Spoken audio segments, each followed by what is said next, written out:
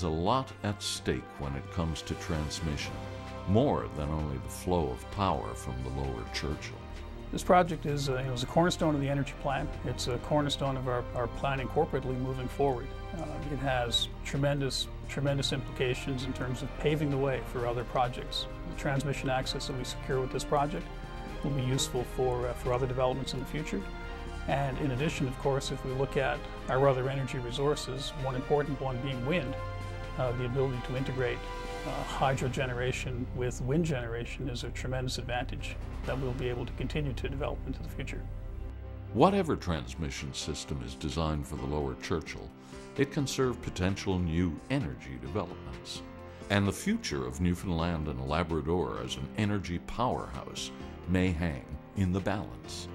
We're looking at transferring wealth to future generations. There's no better way to do it. Leave them with infrastructure and renewable resources. Then if you take a look at something like the Lower Churchill and the Upper Churchill in 2041 uh, when it comes back to us, you look at if we have a strong wind regime in place uh, and we have the transmission issues dealt with, even though the oil and gas may be starting to fade at that point, maybe, we're in a situation though where we could have generations, a couple of generations from now, we could have a situation where we're probably using you know, 1,500 to 2,000 megawatts of, of electricity, and we may have 10 to 15,000 megawatts of electricity to export, and that's forever. And you look at the situation where, say, we're in the five to 600,000 people range, uh, we could be sitting uh, as one of the wealthiest and best-run jurisdictions in North America, if not the world, if we get it right now. It has to go ahead. It's, it's the best, cheapest, cleanest project in North America right now. It's ahead of La, Romaine and other projects that are now being done in Quebec.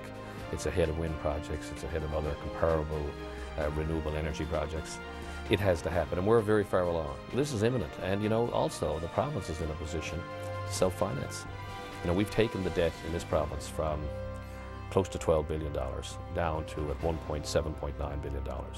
So we have some capacity to borrow if in fact we have to put some money into the lower Churchill in order to launch this there is no better place to invest our money. It's, an annuity, runs forever, and it's gold.